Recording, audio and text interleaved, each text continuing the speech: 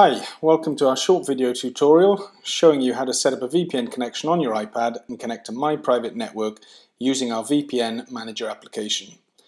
Before we begin, you'll need to go to the App Store and download our app. The easiest way to find it is to search for My Private Network. It's free of charge, so go ahead and download it.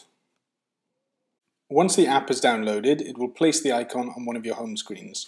To open the app, tap the icon and you'll see the login screen. You need to enter your My Private Network username and password, and when prompted, tap OK to save your details.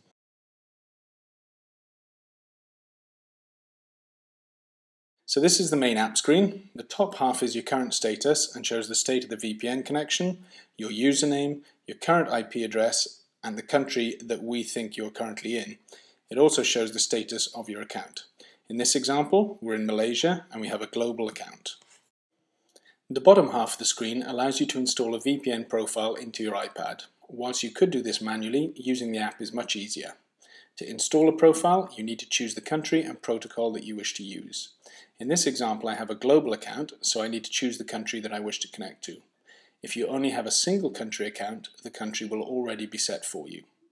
To choose a country, simply tap on Please Select and choose your country from the drop-down list. In this case, I will choose GBR for the United Kingdom.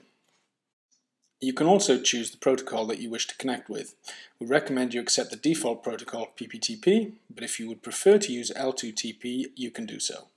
Once you're happy with your selections, tap Install and the app will connect to one of our web servers and download the requested profile. Once the profile has been downloaded, you'll be prompted to install it. Tap on Install and on the confirmation window tap on Install Now. If your device is protected by a passcode, you will need to enter it to confirm your action. Once the install is finished, tap on Done to return to the app, which will automatically open the help page showing you how to connect. For security reasons on the iPad, an application is not allowed to connect or disconnect the VPN directly, so to do this you need to go into the main iPad settings application. Tap back in the top left hand corner to go back to the application main screen and then press the home button to get to the home screen. You need to find the icon for settings and then tap it. As we've just installed a profile, the Settings app is still in the Profile section. Tap on General in the top left-hand corner to go back to General Settings. You can see that you now have a new VPN option fourth down on the left-hand side. To connect to the VPN, simply tap on the switch next to VPN. The text will change to VPN connecting, you'll see the round progress indicator, and after a few moments the switch should turn green, indicating that the VPN is now connected. You should also notice the small VPN icon in the top left-hand corner of the status bar.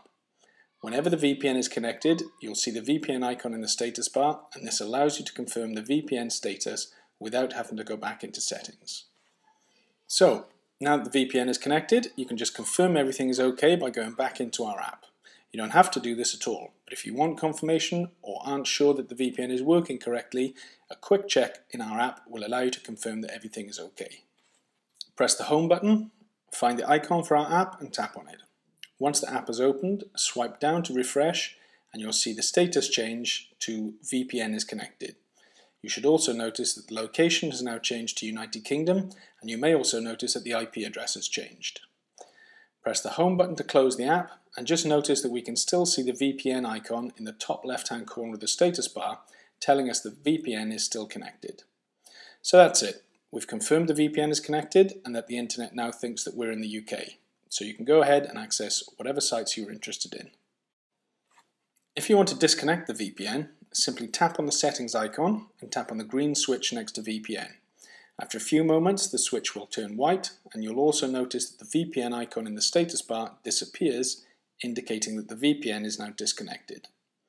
If you want to confirm this, again, you can use our app. Press the Home button to close settings and tap on our app icon. Once the app opens, swipe down to refresh and you will see the status changes to VPN is not connected, the location changes back to your actual location, in this case I'm in Malaysia, and the IP address also changes. That's all there is to it, it's about as simple as we can make it. If you do have any problems, please let us know our support email is support at my-private-network.co.uk.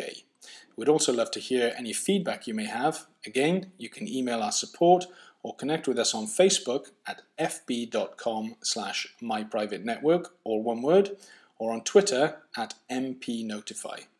Thank you for watching.